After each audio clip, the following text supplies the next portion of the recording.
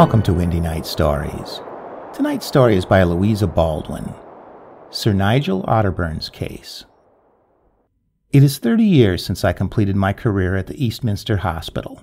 I had passed all my examinations successfully and taken more than my share of medical honors when one of our most celebrated physicians, Dr. Grindrod, asked me to watch an important case for him, the study of which I should find of the deepest professional interest. Dr. Grindrod's patient was suffering from an obscure form of malaria, contracted abroad, which had developed into an extremely rare form of intermittent fever with really beautiful complications, such as he had never met with before in all his wide practice. But Sir Nigel Otterburne lived a three hours' journey from town in Hampshire, and when the doctor went to see him, it took practically the whole day of his valuable time, which was more than he could afford to devote to any one case. Dr. Grindrod therefore proposed that he should see the patient himself once a week and send down one of the most promising of the hospital students to watch the case under him and to take minute medical notes of its progress. I was the fortunate man selected for the work and was to go into the country with Dr. Grindrod, taking with us a couple of our most trustworthy nurses. I can never again feel as important as I did on that first day of August when I entered upon my onerous duty. The doctor and I were met at the station and driven through lovely country to the Hamel, which was the name of Sir Nigel Otterburne's house. It was a fine specimen of Jacobean architecture, and, externally at least, had undergone but little change for a couple of centuries past. It was a three storied building, with tall fluted chimneys and dormer windows in its high pitched roof. The front of the house was nine windows wide, narrow sash windows with a great deal of framework in proportion to the glass. The front of the house, with its wings left and right, made three sides of a quadrangle, the fourth side of which was formed by wrought iron railings, with great gates in the center. Leaving the carriage outside for fear of disturbing the patient by the sound of our arrival, we crossed the wide courtyard on foot. The front door was approached by shallow steps, and sheltered by a richly carved penthouse of black oak. Upon the wall between the second and third stories was a sundial, and the bright August sunshine threw the sharply defined shadow of the gilded gnomon on the figure denoting the hour of four o'clock in the afternoon. Above the dial a small turret rose from the center of the roof, surmounted by an elaborate piece of ironwork with quaintly twisted letters N, S, E, and W, and a glittering arrow for a weather vane. I was struck by the appearance of the house, at once stately and homely but I received from it an impression of melancholy which was not lessened when the door was opened by a gray headed servant who led us across the paneled hall into a vast and dreary dining room. It contained nothing in the way of furniture except a long table with a row of high backed chairs pushed close against it on either side, and a sideboard of carved oak on which stood a row of silver flagons. A china bowl on the middle of the table, filled with roses and white lilies, made the atmosphere of the room heavy with their perfume. A few gloomy old portraits looked down from their tarnished frames, some with faces austere and rigid as though they had been painted after death. Dr. Grindrod had acquainted me with the details of Sir Nigel Otterburne's case on our journey, and having nothing further to say till we had seen the patient, he stood with his hands behind his back, looking at the portrait of a lady over the mantelpiece, so lavish in her charms that I assigned her at a glance to Charles II's period. That is what I call a magnificent woman, said the doctor, waving his hands sumptuously toward the expanse of bare neck and bosom depicted on the canvas. But I should rather have applied the words to the lady who entered the room while he was speaking, and whom he introduced to me as Miss Otterburne. The doctor had told me that Sir Nigel Otterburne was a widower with an only daughter, but he had said nothing to prepare me for the appearance of so amazingly handsome a creature. I have never met a woman who so completely fascinated and interested me at first sight. Miss Otterburne was not a girl. She was in the ripe beauty of womanhood, and with a most dignified and haughty carriage. She covered me with a glance of her beautiful dark eyes, and curtsied so low that it was almost a sarcasm to a young man like myself. She was tall and slender, of an ivory pallor of complexion, with fine, sensitive features, and a mass of dark hair worn high on her head. She was dressed in some soft, cream colored fabric, and her sleeves came only to the elbow, displaying to the utmost advantage her beautifully formed hands and arms. I promised you, Miss Otterburne, that I would bring one of our hospital students to watch Sir Nigel's case for me, said Dr. Grindrod. You must not mistrust Mr. Caxton because he is young. He has had experience in the hospital which many older men may envy, He will post to me daily notes of the patient's condition. I shall be down myself once a week, and you would telegraph me in any emergency. Indeed, my dear young lady, I can assure you that Sir Nigel is in good hands. And Dr. Grindrod smiled and attempted a light and easy manner. But Miss Otterburne was entirely irresponsive. Heaven grant that you may be right, she said in chilling tones, and she led us upstairs to the patient's room. As she walked erect before us, there was that in her bearing and appearance which reminded me of some distinguished Frenchwoman at the time of the Revolution, and I thought how many a proud head like hers had fallen from its white shoulders under the guillotine. Sir Nigel's room was dark and dreary, and he lay in a funereal bed with heavy hangings, and I mentally vowed to have him out of it and in a more cheerful room within four and twenty hours. If the house did not contain some light, undraped bedstead, I would send to the hospital for one such as we use for our patients. Sir Nigel Otterburne was in a half comatose state when I first saw him, and I judged him to be about sixty two or three years of age. He was tall and thin, and looking at his face, I saw at a glance whence Miss Otterburne derived her fine features. His hair and mustache were thick and gray, and he looked what he was, a soldier. In his lucid intervals there was a dignity of self-restraint in his manner, which again reminded me of his daughter. The local practitioner, Mr. Walton, was present in the room, a good-humored, rustic-looking man, more like a farmer than a doctor, but who, if he was unprofessional in appearance, luckily for me had less than the usual amount of professional jealousy. So far from being annoyed at seeing me installed in the house to watch the case of his distinguished patient for Dr. Grindrod, he expressed his approval of an arrangement that relieved him of so much responsibility. But he said nothing before Miss Otterburne, and I saw that she exercised the same repressive influence over him that I felt so strongly myself. But when we were in the dining room again, and I received my final instructions from Dr. Grindrod, Mr. Walton said, as he poured himself out a glass of sherry, I don't profess that single handed I could pull Sir Nigel round. I've not had the opportunity of studying malarious fevers, but if you gentlemen succeed in curing the patient, I share the glory of it, and if he slips through your fingers, Miss Otterburne cannot reproach me, for nothing could be expected of me where Dr. Grindrod failed. Is Miss Otterburne likely to reproach you if the case ends fatally? I asked. Mr. Walton looked round to see if the door was shut, emptied another glass of wine before he spoke, and said in a low voice, Miss Otterburne is Miss Otterburne, and it would be unprofessional to gossip about any member of my patient's family. Eyes and ears open, and mouth shut at the Hamel, is my advice. After Dr. Grindrod's departure, I went upstairs to make arrangements for my first night in charge of Sir Nigel. A small room leading out of the patient's had been assigned to my use, and I went to the window to look at the view. My eyes never rested on a more peaceful scene. Immediately in front of the house, bounded on either side by its projecting wings, was the great courtyard, with its wide grass borders bathed in sunshine, and beyond the iron palisades and the high gates, stretched an expanse of undulating country thickly wooded with trees in their heaviest summer foliage. On the brow of a gentle ascent, some quarter of a mile distant, stood a gray church with an ivy grown tower, and the evening sunshine was glittering on the weather vane. When I had seen the night nurse enter upon her duties, I went for a stroll in the open air, leaving the house by a door at the back of the hall. I found myself in an old fashioned garden with grass terraces and clipped yew hedges. I thought that I was alone in the garden, when suddenly I caught sight of Miss Otterburne's light dress, white and ghostly in the gathering gloom, and in a moment we were face to face on the path. I raised my hat and stood aside for her to pass, and I felt the blood mount to my cheeks. She might think I was intruding on her privacy and following her on her evening walk.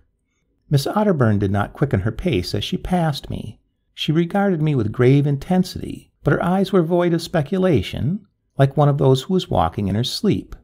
I watched her stately figure recede among the darkening alleys, and heard the door close as she entered the house. I felt chilled and disconcerted, why I could not tell, but I would run no second risk of appearing to intrude upon Miss Otterburne. At eleven o'clock Miss Otterburne entered her father's room to bid him good night.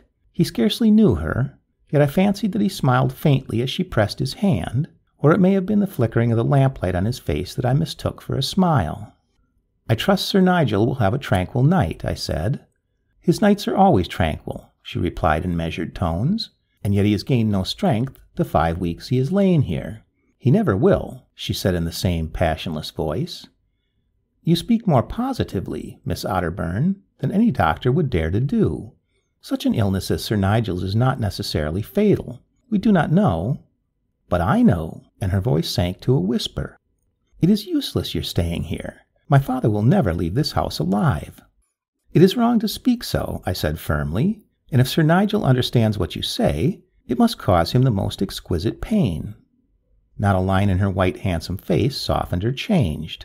My father knows it already, she said, and swept from the room, leaving me bewildered by her manner.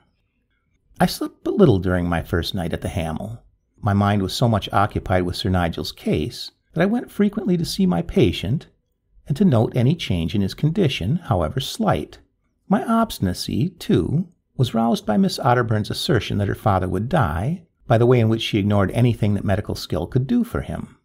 Her manner was that of a person expressing a profoundly melancholy conclusion forced upon her against her will, and yet that she believed to be irrevocably true. If that man's sentence has not gone forth from heaven, he shall live, I exclaimed, and that handsome, obstinate creature shall be taught that she is not infallible. My resolution being made, I tried to sleep, but tried in vain. The profound silence of the country after the roar of London had the same effect upon me that noise has upon those who are accustomed to quiet, and kept me wide awake. And from time to time I was startled by the screeching of owls, sounding like the cries of terrified children lost in the dark. At length the dawn came, and I rose to go into Sir Nigel's room. This time he was conscious, and as I felt his pulse, he whispered, Are they come? Yes, I replied, supposing that he alluded to me and the nurses. We came yesterday, and we shall try to relieve you as much as we can. But he sighed impatiently, closed his eyes, and turned his head from me. It was useless to lie down, so I dressed myself, and the clock was striking four as I opened the window and leaned out to enjoy the freshness of the morning air. To my great surprise, Miss Otterburne was also looking out of her window in the center of the right wing of the house. I drew back at once, but she had not heard me throw up the sash, and she was not looking in my direction. Her dark eyes were fixed in a trance like gaze on the entrance to the courtyard or on the church crowning the grassy slope. She certainly was not looking at any part of the house. She was ghastly pale, and her eyes wore the same unseeing expression that I had noticed in them from the previous evening. For more than a quarter of an hour, Miss Otterburne remained immovable, and how long she may have been at her casement before I saw her I cannot tell. She was wrapped in a white robe, and her dark hair lay in waves on her shoulders, but her face was not like that of a living woman. It seemed probable that I might have two patients in the house to look after, and I felt a distinct sense of relief when at length she withdrew from the window and I lost sight of her. That day I carried out my intention with regard to Sir Nigel. We moved him into a small bed and carried him to a bright, cheerful sitting room on the same floor, a room suggesting pleasant, sunny life as clearly as the gloomy bedroom had suggested death. I felt sure that the patient would appreciate the change, that it would prove beneficial to him. But to my disappointment, he did not appear to notice it, and it produced no effect on his physical condition. I heard him murmuring to himself as he lay, It will make no difference. It was singular, too, that Miss Otterburne seemed to take no interest in her father's removal to a more cheerful quarters. However, I had Dr. Grindrod's approval of what I had done, and I was content. How do you get on with Miss Otterburne? the doctor asked me abruptly on one of his visits, when I had been more than a week in the house. You might as well ask me how I get on with that picture on the wall, I replied, but I think she is the handsomest woman I ever saw in my life. You do, do you? Hum, not my style. I prefer flesh and blood. And Dr. Grindrod shot a glance in the direction of the Charles II lady, and fell to talking of purely medical matters. When I had been in hourly attendance on Sir Nigel for a fortnight, I began to realize not only that my patient was making no progress, but that I was making no progress with my patient. I expected no lively gratitude from him, but it would have been pleasant if there had been any token of recognition, either on his part or his daughter's, that I was doing my utmost for him. I imagined that he regarded me as a servant whose attentions were indispensable to his comfort, but with whom he could not be familiar. It did not annoy me, sometimes it even amused me, for I never count a sick man in the category of sane persons, and so no more think myself insulted by an invalid than by a madman. This excuse, however, did not apply to Miss Otterburne, and I was puzzled more and more by her conduct. Every morning at earliest dawn, if I looked out, she was leaning on her window sill, gazing with tragic melancholy, not, I am sure, at any tangible object, but on something that presented itself to her mental vision. Not only did I gain no ground with Sir Nigel and his daughter, but the old housekeeper and butler, though perfectly civil to me, were both exceedingly reserved. Sometimes the housekeeper would have a short confab with me on her master's state, consisting on her part consisting on her part chiefly of sighs and head shakings, and once the butler went so far as to observe, Master Raymond will wish that he'd parted friends with his father when he went to India. So then Sir Nigel had a son, a fact of which I was not aware, and furthermore it would seem that father and son had had some quarrel or misunderstanding. Meanwhile, there was no disguising the unwelcome fact that my patient was steadily sinking. Dr. Grindrod approved of all that I did in carrying out his instructions to the letter, but nothing we could do availed to check the downward course, and we racked our brains for treatment and remedies which should keep the enemy at bay. The disease was not running a normal course. Unexpected complications arose at an unusual period in its progress, and how interesting the battle between the force of disease and the power of science became to me none but an enthusiast in the medical profession can tell. I seldom quitted the patient's room. Only when he was sleeping did I venture to leave him for an hour in charge of a nurse while I went for a stroll in the fresh air. It was just before sunset one evening, when I had been nearly a month at the Hamel, that I closed the front door gently behind me and, crossing the courtyard, let myself out into the park and made my way towards the church on the grassy slope. I was exhausted and excited, and I walked bareheaded that the cool breeze might blow about my heated temples. I hated to be baffled. I had been so sure of victory, and now defeat stared me in the face. Miss Otterburne would have a melancholy triumph. She would be right after all, and I would be wrong. I went over every event of the previous weeks in detail. I was satisfied that all that medical science could do for Sir Nigel, at the point to which it had then attained, had been done and was still being done for him. But I reflected with a crushing sense of impotence on the irresistible power of the force with which I was contending. I, a finite being, was measuring my strength against death the conqueror of man. The contest was hideously unequal. I was sure to be worsted. Even if the patient recovered, it would be at best but a reprieve, and sooner or later he must reach he must retrace his anguished steps toward that bourne from whence I was striving with all my strength to turn him back. I entered the churchyard in the deepest depression of spirit. It was not merely the anticipated loss of my patient that weighed upon me. That was but one item in the incalculable total of human misery. In his death I saw the doom of every son of Adam, the death of the whole human race. I was ready to wish that I had died myself, which constantly brought me face to face with a terrible elementary fact in nature, with which the utmost skill of man is powerless to cope. The church door stood hospitably open, and I entered the cool twilight within. Here were the tombs of the Otterburnes, from the time when intramural burial was a universal custom to the present period, when a memorial tablet or monument is all that is permitted within the church itself. I thought how soon Sir Nigel would be numbered among his ancestors, and be as remote from us who still lived as his own earliest forebears were from him now. Suddenly I heard a deep sigh, and starting, I turned and saw Miss Otterburne close to me, but almost hidden by a great pillar against which she leaned. Her dark eyes were fixed with the wide, unseeing gaze which I had noticed in them each early morning as she looked from her window. I spoke to her, and when she heard my voice, the pupils of her eyes dilated as though the twilight had deepened around her. Miss Otterburne, if there is anything that you wish to say to Sir Nigel, I would advise you to take the opportunity of his next interval of consciousness. It grieves me to be obliged to say this, but I have no choice in the matter. I must tell you the truth. Yes, they will soon come. I know it, she said with a slight shudder. I thought that she was wandering in her mind, and, Taking no notice of her incoherent reply, I continued, I would give my life, Miss Otterburne, if I could prolong the life of one so dear to you. But she looked past and through me, as though she were piercing into futurity, and I heard her say, When they come, you will know that I was right. And she glided like a ghost out of the dim church into the amber light of the evening. Her manner disquieted me profoundly, and I wished that Miss Otterburne was not so lonely that her brother in India was at home to take his share of the trouble and to comfort his sister. I hastened back to my patient's bedside, and, knowing that it would be impossible to leave him that night, I sat down to copy my notes of the case for my own private use. About eleven o'clock, Sir Nigel rallied slightly, and I administered a powerful restorative and sent the nurse to fetch Miss Otterburne at once. As she entered the room, I said, If you would like to be alone with your father, I will remain within call outside the door. She bowed her head in assent, and I left them together.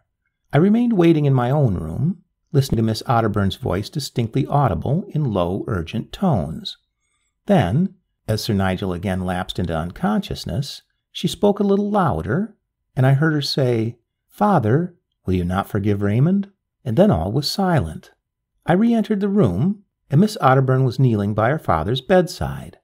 She had been weeping, and I saw that beneath the armor of pride and reserve there was a woman's tender heart. But my return was the signal for her to depart, and she left the room hastily, as though displeased that I had witnessed her emotion. I looked at my dying patient with more regret than I should have thought possible to feel for a man who, in his short intervals of consciousness, had always treated me as a stranger. Certainly I had no affection for Sir Nigel, but I was struck by the pathos of the situation.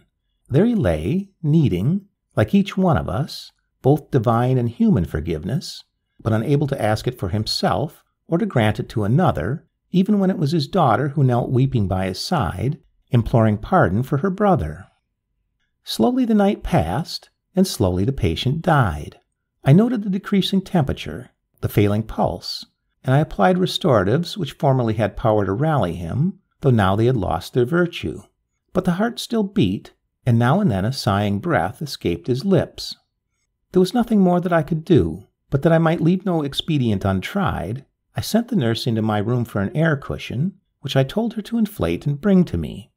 If I raised the patient's head by means of it, it was possible that he might feel a momentary ease, though he would be unconscious of its cause. I looked at my watch. It was four o'clock, and the gray light of dawn glimmered through the curtains. I wondered whether Miss Otterburne was at her window, according to her strange custom, when the door opened swiftly and silently, and she entered the room as I had often seen her at that hour, clad in a loose white robe, and her dark hair hanging about her shoulders. There was a mortal pallor on her face. She did not cast a glance in the direction of her dying father, but exclaiming in tones that chilled my blood, They have come! They have come! She went to the window, drew back the curtains, let in the cold light of dawn, and stood with clasped hands gazing into the courtyard below. I was by her side in an instant. They have come! They have come! I knew they would come and I heard the effort she made to speak with a tongue that was dry with terror. In the courtyard beneath, directly opposite to the window, was a strange, silent crowd of men, women, and children looking up at us in the faint morning light with faces of the dead.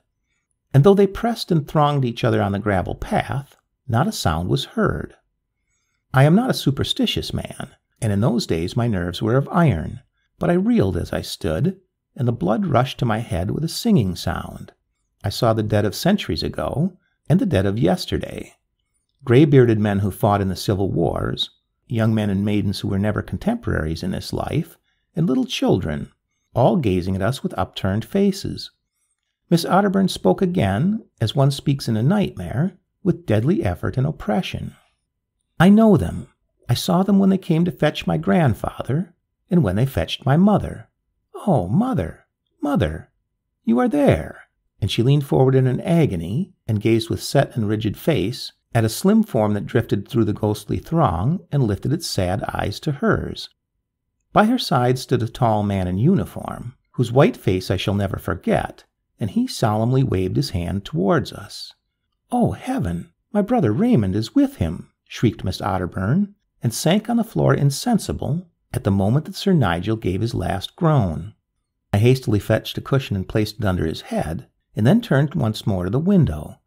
But the courtyard was absolutely empty, nor was there a trace of its recent occupation. I could not have been absent from the window for a couple of minutes, and the instantaneous disappearance of the ghastly throng shook my nerves fully as much as the sight of it had done. There was not a mark on the untrodden dewy grass, not a pebble displaced on the broad gravel path that had been so crowded a moment before. On the spot where the tall figure had stood and waved its hand to us, a cat was seated, licking her paws, and I heard the fitful chirp of the first awakened birds. I felt physically ill, and turning from the window, I poured out and drank a powerful cordial that restored an artificial calmness to my nerves. Just then the nurse returned. She had not been absent from the room for more than five minutes. The patient is dead, and Miss Otterburne has fainted, I said. Help me to lay her on the couch. I have never in all my experience seen anyone in so deep a swoon. The nurse and I were unspeakably relieved when at length she showed signs of returning consciousness, though I dreaded what she might say when she recovered. I gave her a composing draught which would secure her some hours' rest, and committed her to the care of her maid. I sent at once for the family doctor, who had seen Sir Nigel on the previous night, to acquaint him with the death of the patient. He was exceedingly inquisitive about every possible detail, and appeared to long for some information concerning something he dared not inquire about directly. Were there any circumstances of an unusual character attending the death? he asked anxiously. It was an ordinary termination of such an illness of Sir Nigel's, I replied guardedly. And Miss Otterburne? How did she bear the shock? She had a severe fainting fit, and remained insensible for fully half an hour. She appears to feel her loss acutely. Mr. Walton agreed with me that I had better remain in the house till the following day to make the necessary arrangements for the funeral and to write to Miss Otterburne's relations, with whose names and addresses the butler supplied me, to prevent his mistress from being disturbed. The old man became almost talkative for so taciturn a person. The family has died and died till yonder churchyard is full of them, he said. The very soil of it was once Otterburne flesh and blood, and there's no one left of this branch but Miss Otterburne and the Major in India that's now Sir Raymond. There's a few cousins up in the north, and a widowed sister of the master's, and they'll like to come for the funeral, if it's only to see where they'll be laid themselves when their time comes, for all the Otterburnes are brought here to be buried. Will one of the ladies of the family stay with Miss Otterburne till her brother returns from India? I asked.